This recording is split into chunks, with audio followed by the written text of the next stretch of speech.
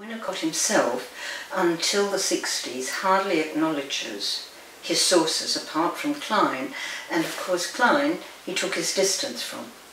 And then at the end of the 60s, uh, when he starts looking and kind of summarising for others the influences in his life, he also prefaces it with saying, gosh, I didn't mention them.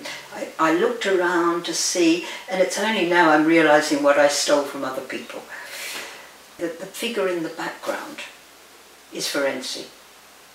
And that Ferenczi, we might, Winnicott's part, although he never wanted to be part of a group, didn't believe in the groups, um, nonetheless, the sort of move towards an independence in thinking psychoanalytically. And many of the things that Winnicott goes on to develop in such detail are actually lurking around quite prominently in Ferenczi.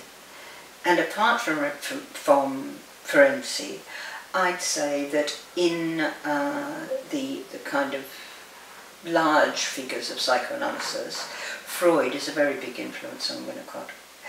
And so was Melanie Klein in a kind of more local and collegiate way, I think actually his relationship and intellectual exchange and interest in the same kinds of areas is very clear with Marion Milner.